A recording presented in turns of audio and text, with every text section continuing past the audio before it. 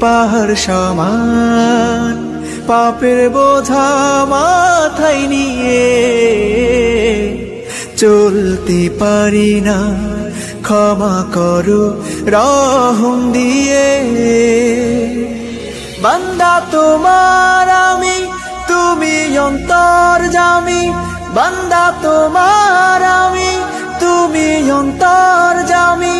তোমার কাছে ফিরি বারে বার ইয়া রাহিমু রহমান ইয়া কারিমু মেহেরবান।